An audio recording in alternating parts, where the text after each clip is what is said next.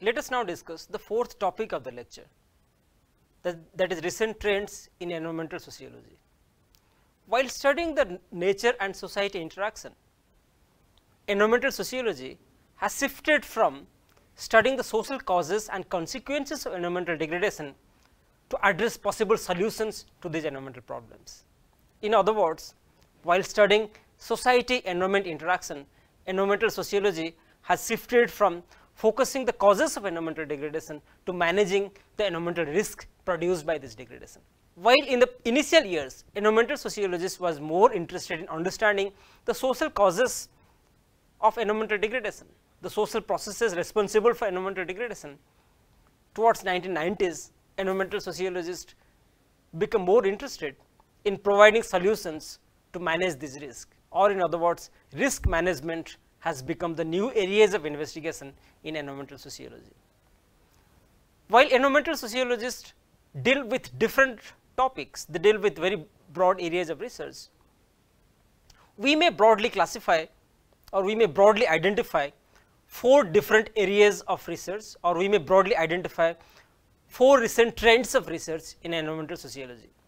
So, these are necessarily the subject matter of contemporary environmental sociology.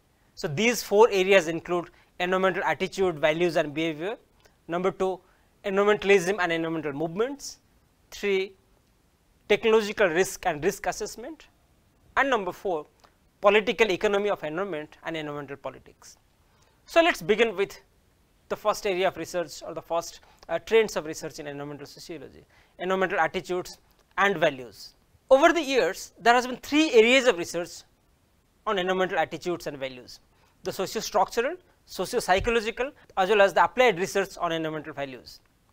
With regard to the socio-structural approach or with regard to the socio-structural aspect of understanding environmental attitude and values, there has been research on whether environmental attitudes differ based on class, gender, age, uh, ethnicity, uh, occupation, place of residence or in other words different structural aspects of society have been correlated with environmental values and attitudes. There has been studies concerning the question of decline or rise of uh, public opinion regarding environmental quality, whether people are becoming more and more concerned about environmental quality, whether they are becoming more and more concerned about environmental problems or not.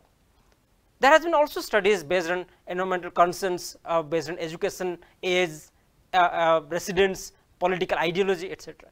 Whether people belonging to a certain location, whether people uh, of certain certain age or whether people with certain education, certain levels of education are more concerned about environment whether people belonging to certain uh, age, uh, economic positions and uh, political ideology, they are more concerned about environmental problems. The socio-psychological aspects of environmental attitude and values correlates between the attitudes and the actual behavior. For example, when persons become aware of the negative consequences of their action, maybe they develop certain moral norms, certain moral uh, behaviors towards the nature or towards the environment. For example, not using plastic, for example, uh, saving energy, for example, protecting uh, environment. Maybe these kind of behaviors, these kind of attitudes emerge only when we recognize the negative consequences of our behavior only when we understand that our specific kinds of behavior leads to certain degradations of the environment or, or environmental degradation is a product of our own behavior. So, this understanding, this knowledge, this awareness about the negative consequences of our own behavior perhaps certain sometimes lead to, to develop certain kind of attitudes and behaviors towards environment.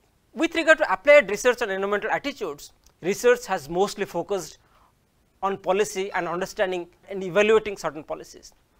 There has been there has been research on evaluating environmental policies. Uh, there has been research on knowing people's perceptions towards certain policies. In other words, environmental sociology has been used as an instrument to formulate, improve, and evaluate policy. So, environmental sociologists have started playing a greater role in policy formulation, policy improvement, and policy evaluation.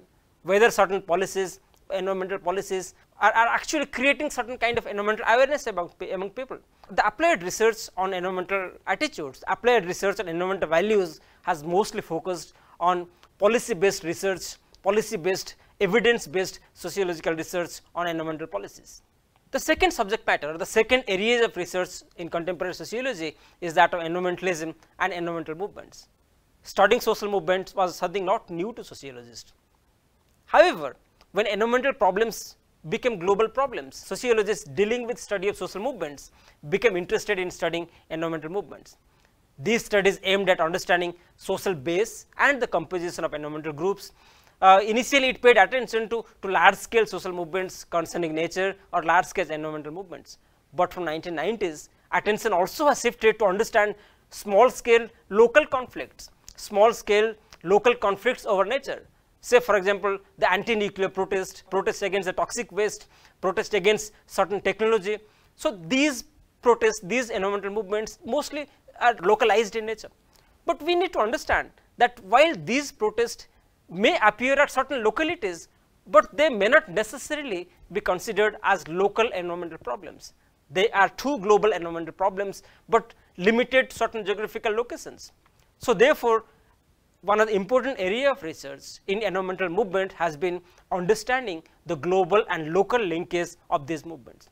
While these movements are local in action, but in terms of its impact, in terms of its, its ideology, these movements are necessarily global. So, therefore, environmental social movements, a study of environmental social movements have, have paid attention to understand the global local linkage of these environmental movements. Another important factor in understanding environmental movement has been to understand the scale shift in environmental movements. Because as I referred, environmental movements sometimes may begin a particular location, they may begin with, with, with a certain localities, but they do not remain local. Sometimes they become global movements. How, so, how does the scale of these environmental movements shift from being a localized struggle to that of a global social movement?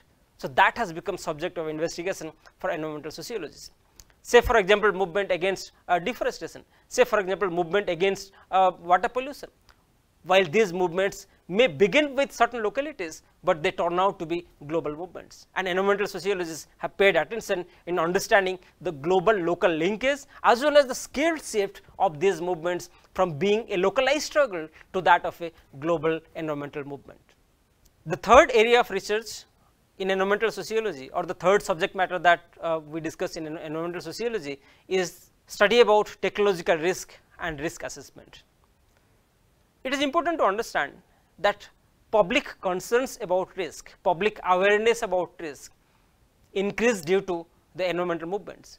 Environmental movements increase awareness among the people, it increase knowledge about these environmental degradations among the people and therefore, several studies came out understanding the role of risk in environmental policy making, how certain environmental policies produce certain kind of risk, how certain environmental actions produce certain kind of environmental risk. Because perhaps by understanding the risk, we can avoid this risk. Perhaps by understanding this risk, perhaps by, by, by examining this risk, we can find a solution to this risk. Further, with the, with increasing instances of, of risk, there has been more emphasis in understanding this kind of risk. There has been studies concerning uh, public protest against technological innovations, uh, there has been studies concerning uh, movement against certain kind of technology and these created important areas of research within environmental sociology. The fourth subject matter of environmental sociology is that of political economy and environment or studying about the political economy to nature. The political economic approach draws its inspiration from the new Marxian perspective, where the major emphasis has been to understand the distributional conflicts and its impact on environmental policy. The political economic approach to environment makes it clear that while environmental problems are global problems, while environmental problems are problems for all, but they do not impact all in the similar manner. Environmental degradation, environmental uh, risk are necessarily classed, they necessarily affect different classes of population in a different manner.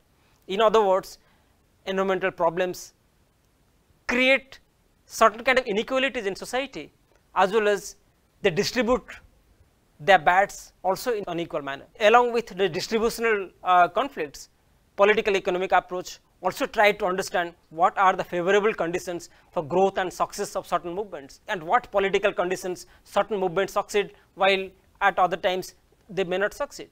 So, political economic approach basically try to extend that how social inequality is sometimes reaffirmed or, or political economic approach try to uh, it, it, tries to ex extend the argument that the already existing inequality of the society, the existing unequal social structure sometimes create new kind of problems when society and, and nature interact with each other.